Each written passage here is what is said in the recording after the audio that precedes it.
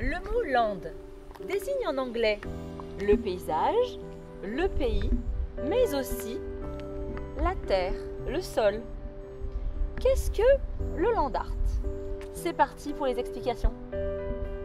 Au cours du solstice d'été, quand les jours sont les plus longs de l'année, de nombreux visiteurs se rendent dans le désert de l'Utah où quatre imposants cylindres de béton sont alignés sur deux axes. Ces surprenants tubes gris ont en réalité une fonction bien précise. Ils forment des viseurs au travers desquels on peut observer le lever du soleil. Les cylindres sont aussi percés de trous qui reproduisent en laissant passer les raies de lumière les constellations du ciel. Le visiteur s'installe au sein de ces abris pour contempler une véritable projection du ciel. En installant Stellar Axis à l'endroit le plus bas du globe, Lita Albuquerque a voulu investir l'espace inexploré de la banquise antarctique. Elle a déposé sur cette grande plaine blanche 99 boules bleues en équilibre sur le sol.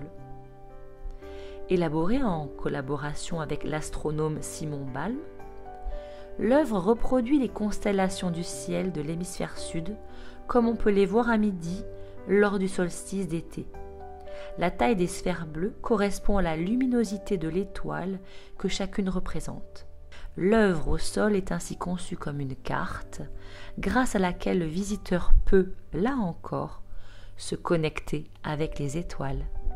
De larges cercles envahissent petit à petit l'étendue de sable fin au bord de la mer, où recouvre un lac gelé.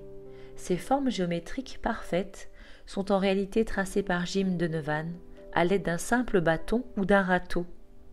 Nous avons pourtant l'impression que l'artiste a utilisé un compas géant, tant les formes sont régulières. La prouesse est d'autant plus impressionnante que c'est seulement à vue d'avion que ces dessins, s'étendant sur plusieurs dizaines de mètres, peuvent être admirés dans leur totalité. Ces immenses motifs, demandant de nombreuses heures de travail et de marche au dessinateur, sont pourtant à la merci de la moindre vague et du moindre coup de vent. L'espace se transforme en une immense toile à repeindre chaque jour, et seules les photographies gardent une trace de ces fragiles arabesques. Pour l'artiste américain, ce travail en perpétuel recommencement est une manière de donner vie à ces immenses espaces.